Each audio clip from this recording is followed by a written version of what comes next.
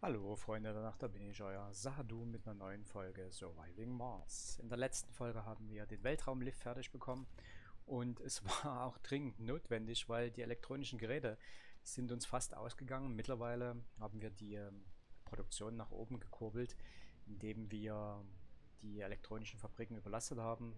Das ist natürlich nicht so gut für die Arbeiter und natürlich auch für die Maschinen dort, aber vor allem natürlich für die Arbeiter, die bekommen da Mali. Sind dann halt genervt. Aber es war notwendig, um das erstmal aufzuhalten. Ihr seht jetzt, äh, produzieren wir Magi, also ganz wenig mehr, als was wir insgesamt verbrauchen. Das hält sich jetzt alles so die Waage. Und wenn wir jetzt das aber wieder runterschrauben würden, die elektronischen Fabriken, dann äh, wäre der Verbrauch bedeutend, bedeutend höher. Deswegen, wir hatten uns hier 200 von diesem Weltraumlift liefern lassen. Das ging auch rucki zucki, also das eine feine Sache, so ein Weltraumlift. Haben wir den mal gesehen, wie der funktioniert. Kostet natürlich auch, ihr habt es gerade gesehen, 120 Energie, einfach unfassbar. Wir werden den... Ah, ach so. Ist erhöht, weil er hier im kalten Gebiet steht. Mhm. Aber wir haben halt auch gerade eine Kältewelle. Sonst hätten wir wahrscheinlich auch schon diese ist eine Megakurbel fertig, aber die Kältewelle macht uns hier einen Strich durch die Rechnung. Wir müssen wieder auf die Elektrizität aufpassen. Die Fusionsreaktoren äh, geben auch wieder Gas ohne Ende und schaut euch einfach mal den Wasserverbrauch an. Der ist einfach komplett mal durch die Decke geschossen. Deshalb werden wir jetzt uns um eins nach dem anderen kümmern, was jetzt halt erstmal wichtig ist. Wichtig ist, dass wir jetzt noch mehr Wasserquellen uns erschließen. Entweder wir holen uns jetzt hier diese zwei Wasserquellen. Das Problem ist, dass es nur ein durchschnittliches, also auch nicht gerade sehr prickelnd. Und hier unten, was hatten wir hier unten? Niedrig sogar, nur niedrig bringt noch weniger als durchschnittlich. Das ist sehr niedrig hier. Hier bringt es 3. Das ist durchschnittlich. Wie viel bringt dieser Wasserreaktor? 5.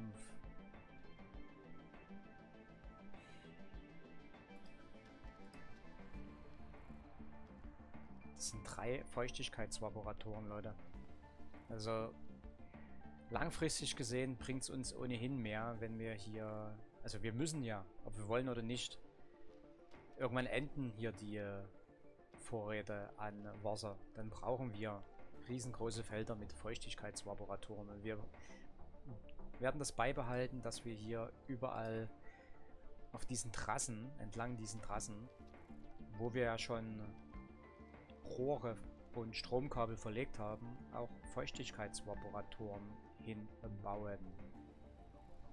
Wir müssen halt nur genügend Abstand halten, damit die auch gut funktionieren.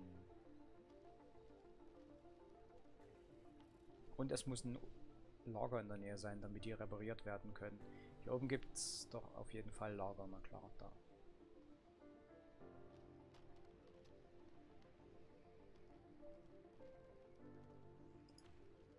Kann man nochmal zwei hinbauen.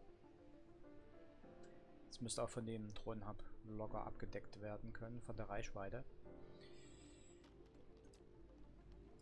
Die Gesteinsabfalllager können wir hier zerstören. Fragt mich nicht mehr. Ich glaube, wir hatten hier oben einen großen Wasserextraktor am Start. Darum müssen wir uns übrigens auch kümmern. Schaut mal die Gesteinsabfälle. Wisst ihr noch die Tage, wo wir Zehntausende Einheiten Gesteinsabfälle haben, hatten. Jetzt haben wir nur noch einen Bruchteil davon und deshalb, ihr seht da oben, sieben Gesteinsabfallanlagen, die nicht arbeiten. Zeigt uns die mal. Hier zum Beispiel. Hier gibt es auch, doch hier gibt es schon noch ein Edelmetallextraktor, äh, der ordentlich Gesteinsabfälle aushebt. Wie viele sind denn hier noch drin? Ja, doch 22.000. Aber da reicht voll und ganz ein einziger, eine einzige Gesteinsabfallanlage aus, um das hier zu verbrauchen, die Gesteinsabfälle. Warum haben wir hier noch eine große Mülldeponie? Brauchen wir nicht. Kann abgerissen werden.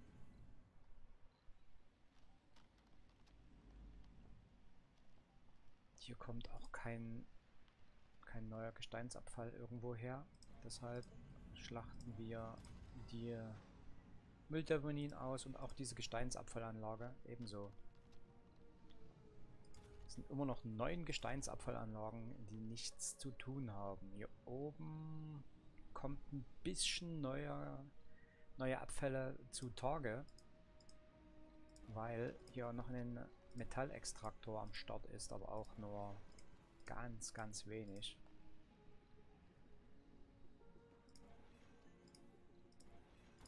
Wie viel ist hier noch drin? 2000. Ja, dann können wir eine einzige Gesteinsabfallanlage hier auch noch arbeiten lassen. Wie sieht es denn hier aus? Ja, hier brauchen wir auch auf keinen Fall mehr fünf Gesteinsabfallanlagen. Also drei arbeiten. Dann reißen wir die zwei ab. Mal schauen. Hier kommt ja... Kommen hier Gesteinsabfälle raus? Ja. Also, der Ausgräber produziert Gesteinsabfälle und auch die Moholmine. Aber nur... Also, die holen ja sofort die Gesteinsabfälle ab und die werden verbraucht. Deshalb reicht ja auch für jede dieser Wunder eine große Mülldeponie aus. Wo hatten wir noch Gesteinsabfallanlagen?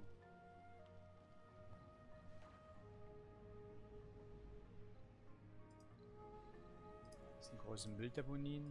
Die sind nicht mehr vonnöten. Wir müssen hier auch nicht 20 Drohnen am Start haben. 10 reichen, glaube ich, hier auch komplett aus. Drei Gesteinsabfallanlagen, die nicht unter Feuer sind. Ja, die lassen wir ja, wie gesagt. Weil da kommen ja ab und zu noch Gesteinsabfälle raus. Ja, kommt. Schlachten hier auch noch eine ab. eine ab. Hm, gruselig. Eine aus. Oh Mann. Wo ist das? Ach, hier unten. Das ist aber ein tiefliegendes Wasservorkommen. Heißt, wir können hier auch eine ausschlachten und eine lassen wir mal.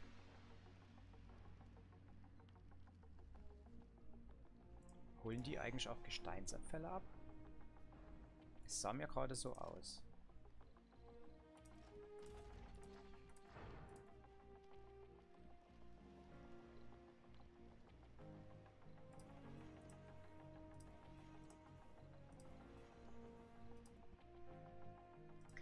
Dann könnte man halt überlegen, die Gesteinsabfallanlagen generell an den zentralen Ort umzubauen. Aber wir lassen es jetzt erstmal noch so.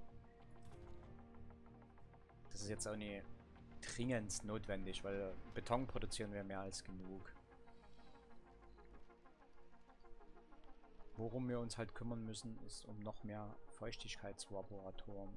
Die werden dort jetzt halt gebaut, aber das reicht uns noch lange nicht aus, Leute. Müssen wir da aufpassen, dass wir das so hinsetzen, dass die auch Strom haben.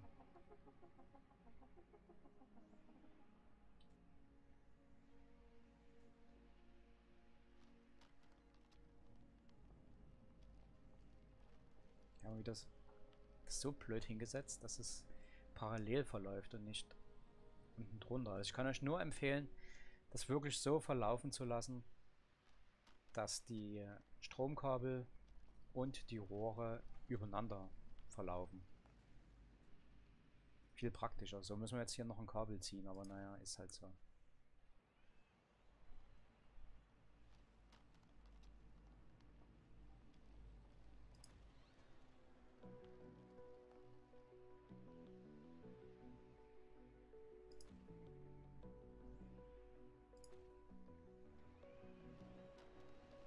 So wie hier. Hier verläuft es auch parallel.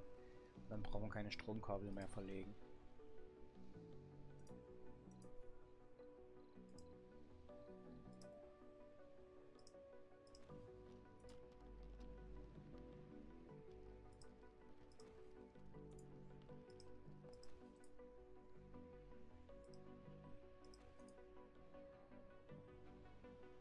Hier müsste alles funktionieren. Hier haben wir es so clever hingesetzt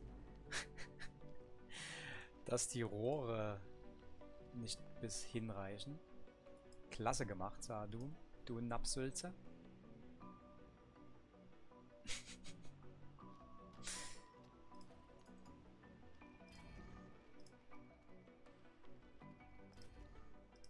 Wenn die alle fertig sind, werden wir die Upgrades durchführen.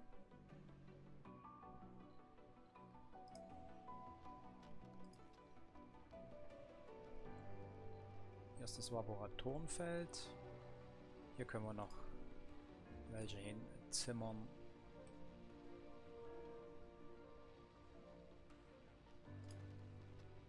Hier werden wir es auch so machen, na, wobei hier wird es nämlich dann knapp mit den Universallager. Hat das noch die Reichweite? Wobei doch hier, das, das geht. Da können wir noch welche hinbauen. Weil die müssen ja auch gewartet werden, die brauchen Metall zur Wartung.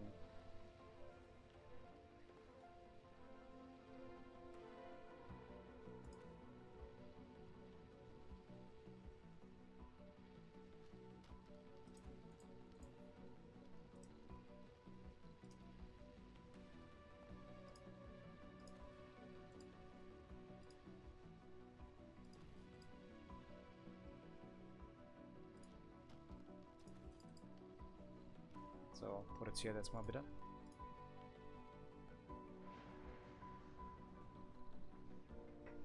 Treibstoff sind wir im Plus. Das ist schön.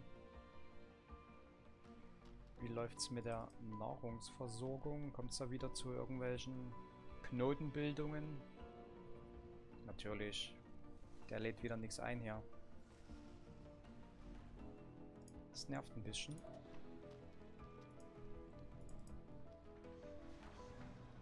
Der lädt wenigstens ein.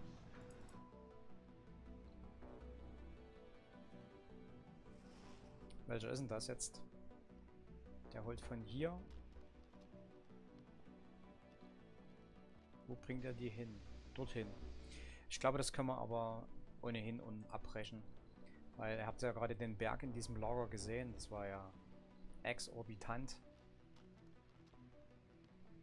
Dann sollte er mal dorthin. Wie geht es unseren Touristen? Kann man hier auch hinschauen. Genießt die Urlaubsreise, Soll 1 bis 5. Schön. Freut sich wieder auf zu Hause, Soll 6 bis 10. Nein, noch keiner. Will einfach nur noch weg, Soll 10 plus. Nö. Mal schauen, wie es denen gefällt. Dann, wenn sie irgendwann werden sie mal ihre Reise beenden. Mal gucken, wie das Fazit dann halt ausfällt von denen. Da knallt ja alles weiter voll. Schön. Wir werden das hier umändern und hier einen Lager hinbauen. Schlachtet das mal aus.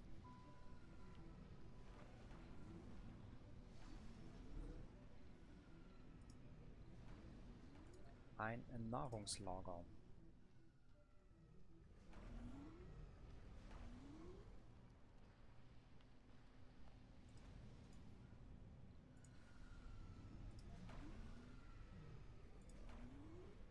Müssen sofort ausschalten, dass die hier dort kein, keine Shuttles anlanden lassen sollen, sonst holen die das alles wieder ab. Kann ja keiner ahnen, dass die zu dumm sind, die Shuttles.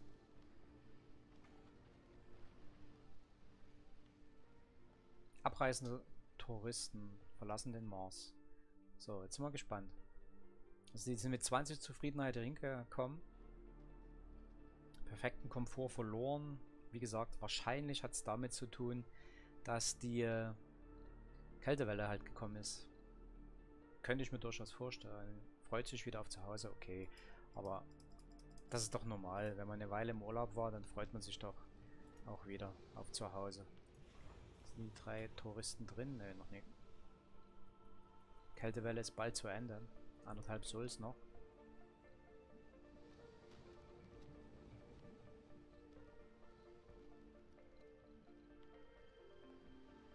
Eins, zwei und da kommt der dritte.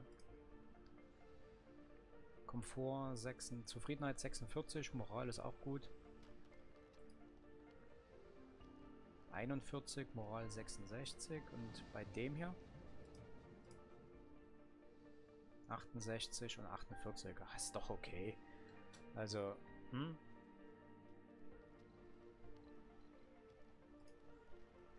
Kriegen wir jetzt irgendwas an Geld von denen?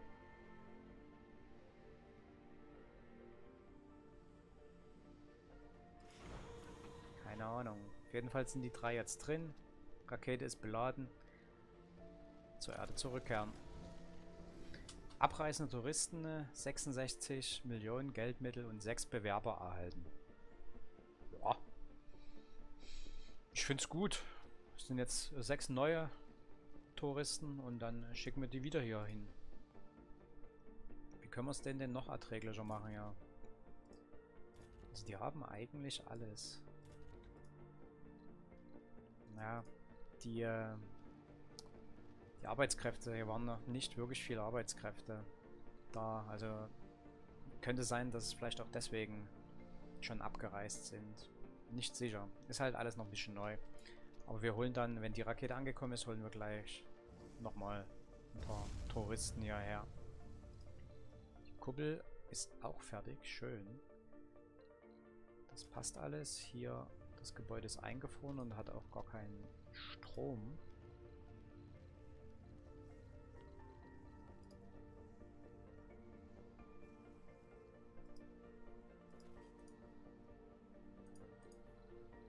Hier müssen wir noch Rohre verlegen.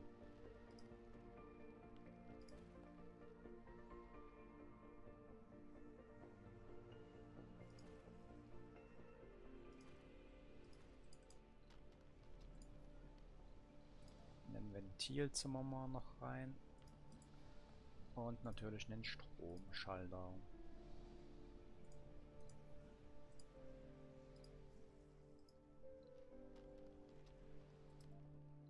Menge Arbeitslose und auch Leute, die äh, kein Obdach haben. Es hält sich alles in Grenzen von der Anzahl her. Jedenfalls in unserer Capital City.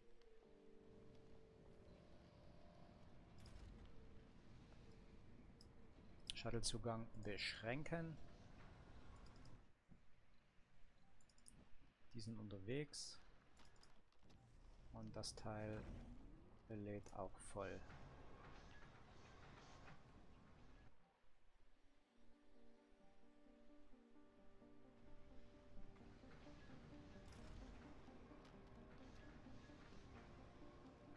Schön. Dann lasst uns noch ein paar Touristen herholen. Eins, zwei. Hm, das ist kein Tourist. Sind das Sechser? 1, 2, 3, 4, 5, 6, ja.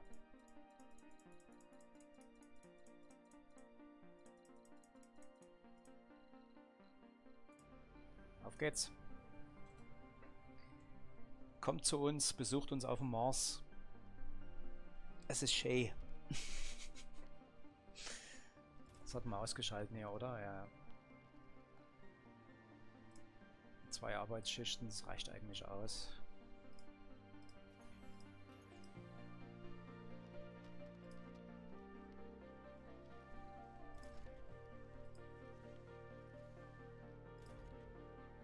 Also den Betriebsbereich vergrößern. Ja, ebenso.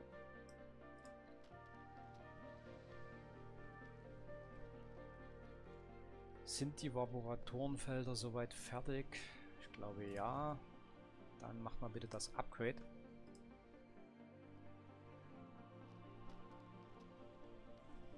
Wo haben wir noch Platz für weitere Laboratoren? Oben müsste es da noch Platz geben. Ja, schaut mal hier oben. Es auf jeden Fall noch Platz. Kältewelle ist bald zu Ende. Hier können wir noch schön Feuchtigkeitslaboratoren dran ballern.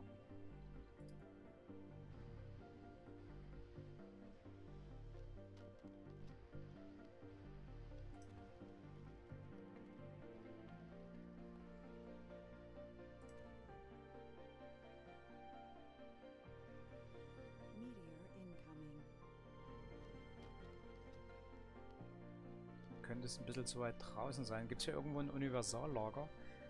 Ja, hier. Schön. Aber gibt es keine Strömlinge mehr. Dann müssen wir hier oben noch Stromkabel verlegen.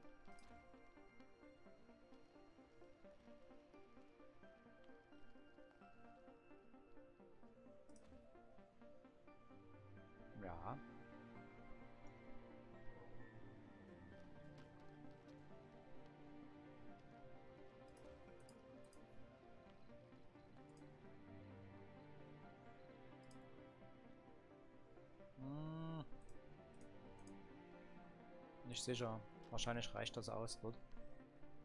Aber wir haben vorsichtshalber noch ein Stromkabel hingesetzt, beziehungsweise ich glaube, das geht automatisch gleich. Das hat es gar nicht mal hingesetzt. Und von hier dorthin. Neue Planetenanomalien. Hm. Naja, kennt meine Meinung dazu. Das hätten sie können alles irgendwie anders machen. Bin da nach wie vor kein Fan von.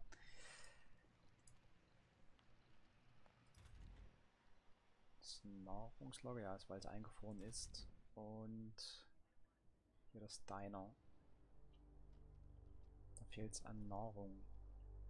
In der Capital City, das ist nicht schön. Sind die Drohnen hier so ausgebucht? Oh. Gibt es noch fünf Drohnen drin? Wieso haben wir hier so viele Drohnen abgezogen? Oder sind mal welche draufgegangen? Durch einen Meteoriteneinschlag, wer weiß. Das kann man auf jeden Fall aber nach oben wieder bringen.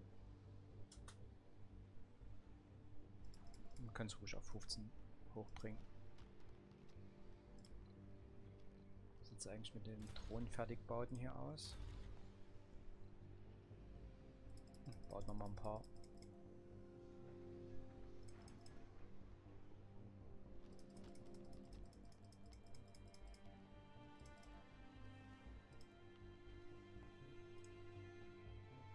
Und wir haben jetzt so viel Maschinenteile. Wir gönnen uns hier mal noch ein Upgrade von der guten Mohol-Mine. Perfekt.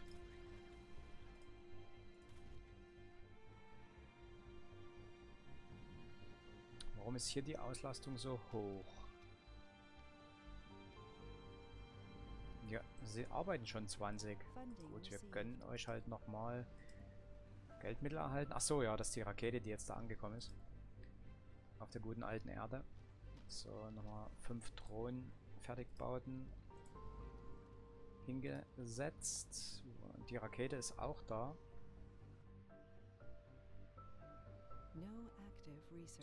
Keine aktive Forschung. Ja, ja. Martianische Urheberrechte. Und landet mal bitte.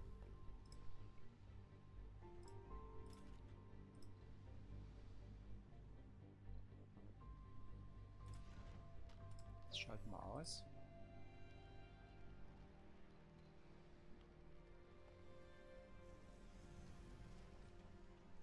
Hatten wir schon Kabel verlegt? Ne. Der Himmel gehört mir. Errungenschaft freigeschalten. Mhm. Schön, schön.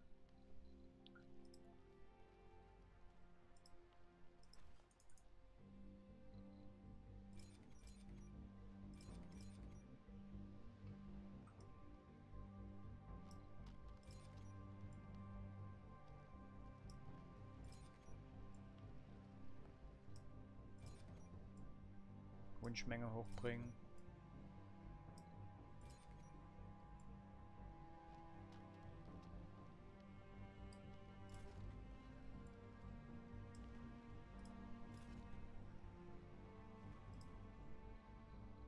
Kuppelheizung. Das Eis schmilzt und du siehst, wie die Kolonisten wieder ihrem geregelten Alltag nachgehen. Die Stimmung ist beinahe heiter. Du bist mit dem Bericht über die Agrarkuppel 2 fertig und versicherst deinem Sponsor, dass das Problem mit der Heizung vollständig behoben wurde. Der Vorfall scheint die Kolonisten angespornt zu haben. Effektmoral plus 20 für 5 Souls. Schön. Ein neuer Tag, eine weitere Katastrophe abgewendet, können wir sagen. Oder Doktor, weil wir sind ja Doktor, sagen wir den Kolonisten, dass sie es für ein paar Tage ruhiger angehen und viel Flüssigkeit zu sich nehmen sollen. Gewährt einen Besonnenheitsboost. Dann machen wir das. Hier kommen sie an, die Touristen. Schön.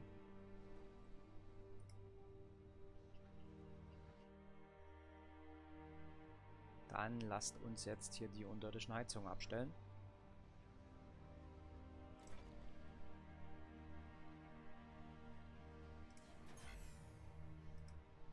Aus sind sie. Wir machen 17 plus. Krass, oder? Von minus 7, also der Unterschied ist ja 24.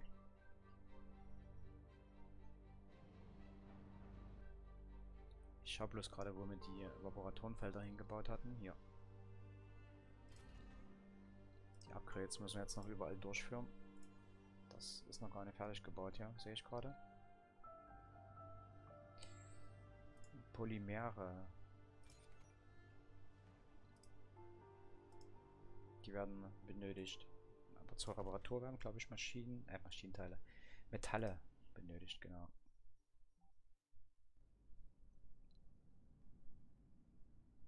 Bevölkerung wächst und wächst und wächst. Nahrung sieht aber auch noch gut aus. Dann gehen wir mal, ja, Problem will ich jetzt nicht nennen, aber dann gehen wir mal die Sache mit den VR-Werkstätten an, würde ich sagen. Es sind eine Menge arbeitslos. Und auch obdachlos. Hatten wir sonst noch? Ach ja, die Fusionsreaktoren müssen wir auf jeden Fall wieder runterbringen. Elektronische Geräte bringen wir mal noch nicht wieder runter. Die Fabriken, wir müssen in der neuen Kuppel auf jeden Fall Fabriken bauen, elektronische Geräte. Dass die Produktion da angekurbelt wird. Muss auch keine dritte Arbeitsschicht mehr sein, arbeiten. Wir haben genügend Edelmetalle hier oben, ihr seht das. Edelmetallproduktion 72. Der Verbrauch ist aber auch ordentlich gestiegen. Du, Mama mia, 47. Naja. Ist klar. Wir hatten ja... Wir haben ja gesagt, die sollen die ähm, Auslastung nach oben bringen. Hier hat man eine Elektronikfabrik. Ja, hier seht ihr es. Heftig. Schwierig, aber nützt alles nichts.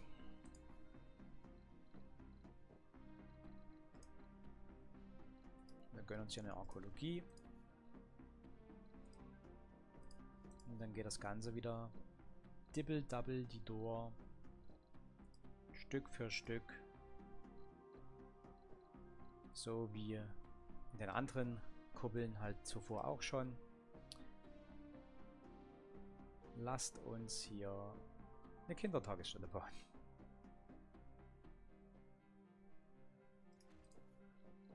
Ein Spielplatz. Eine Schule. Eine Mars-Universität. Das war's erstmal, na, wobei wir können auch gleich noch ein paar Apartmenthäuser hinbauen.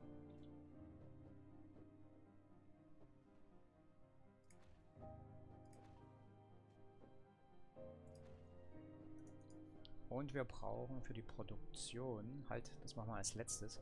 Vorher müssen wir mal noch Kuppel Souls hineingehen, Weltraumbar. Ein Diner.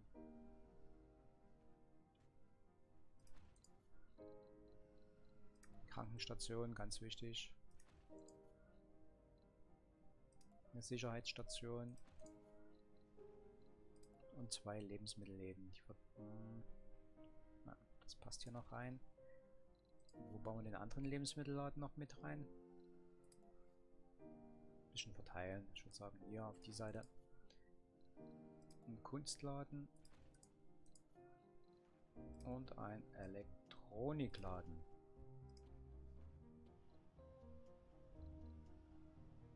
Ja, so fünf Dreiecke.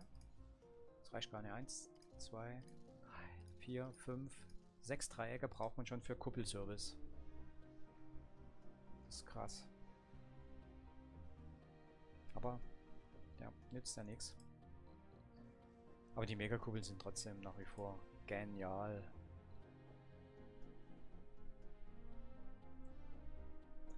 Wasser reicht jetzt auch erstmal aus, was wir da jetzt produzieren. Die äh, Solarkollektoren müssen wir abschalten.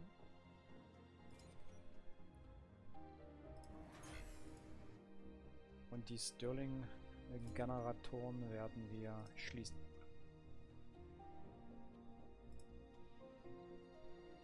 Einmal frei.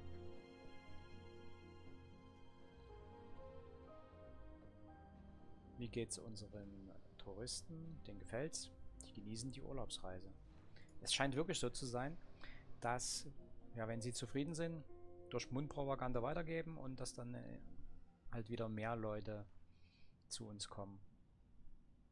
Über 100 sind auf Jobsuche, das sind drei VR-Werkstätten wären das. Also Arbeitskräfte. Wir sind jetzt bei 31 Prozent. Dann können wir hier VR-Werkstätten wieder hinbauen, aber nicht vergessen, wir brauchen natürlich erst einmal, das wollte ich vor uns noch bauen, die Produktionsstätten hier, die Elektronikfabriken.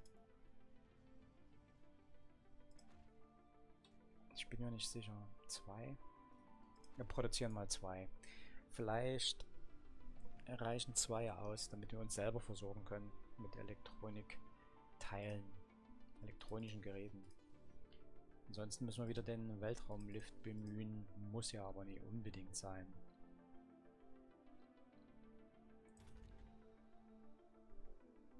Sicherheitsstation muss repariert werden. Weltraumbar ebenso. Und die Gesteinsabfallanlage hier hat nicht genügend Gesteinsabfälle. Wisst ihr was, dann schlachten wir die halt auch noch aus. Ich hätte gedacht, die, die Morholmine und der Ausgräber würden viel mehr Gesteinsabfälle rausballern, aber offensichtlich nicht. Also eine scheint hier komplett auszureichen. Na, mal gucken, wenn das Upgrade durch ist.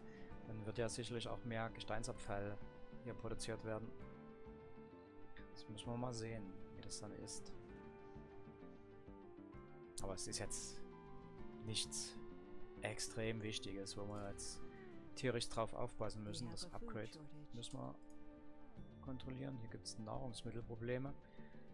Ja. Weil noch gar keine Nahrungsmittel hier angeliefert wurden, oder? Doch, ein paar sind da. Aber mir gefällt es nie, dass das Thronhub hier so weit weg ist. Wir werden hier noch einen Thronhub hinbauen, Leute.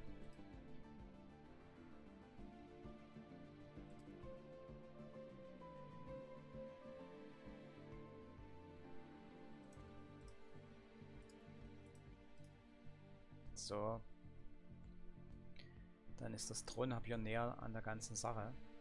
Und kann das Thronhub hier auch ein bisschen entlasten. Die Wege sind ja einfach extrem weit. So verkürzt das die Wege um einiges. Wir haben doch noch einen Transporter übrig, oder? Ne, der hat zu tun. Der... Was macht denn der hier? Ne, genau. Den haben wir noch übrig. Dass wir die Megakugel hier noch versorgen.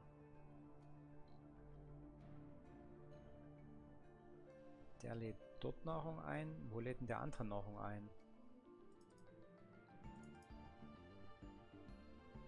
Der scheint... Entweder der lädt hier... Ja, der lädt hier Nahrung ein. Okay.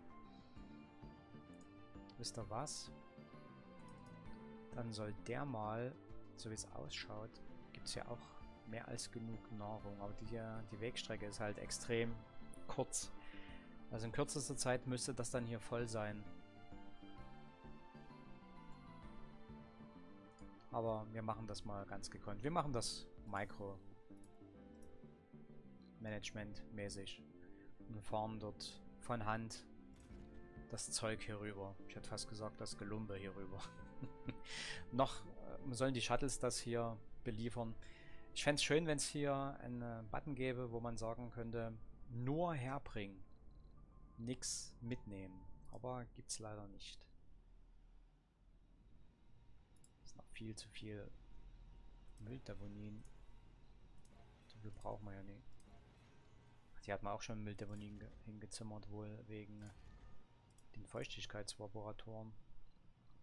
Die werden anscheinend auch doch abgeholt. Und dann wird das sofort zu den Gesteinsabfallanlagen geliefert. Ja, das ist wieder eine feine Sache. Okay, Freunde danach, das war's für diese Folge. Wenn es euch gefallen hat, lasst mal, wow, schon 35 Minuten. Wenn es euch gefallen hat, lasst mal ein Däumchen oben da, schmeißt was in die Kommentarleiste. Rechts oben gibt es natürlich noch einen Button, um meinen Kanal zu abonnieren, würde mich sehr freuen. Und ansonsten sehen wir uns wieder in der nächsten Folge. Bis dahin, bye bye, euer Sadu.